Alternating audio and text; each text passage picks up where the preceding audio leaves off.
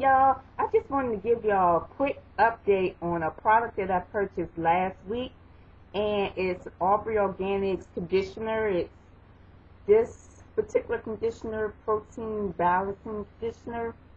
Oh my goodness, y'all, this is so good. Y'all need to get, go out and buy some.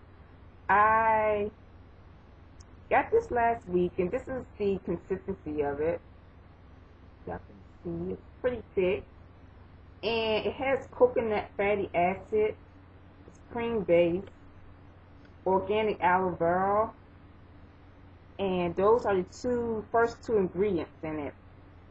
And I love this stuff. I used it yesterday as a conditioner as I washed my hair.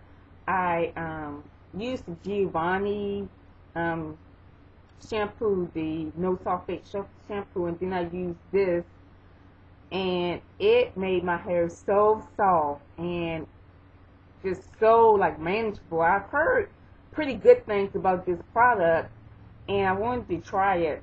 So I had to order it and it's so good. Y'all should try it.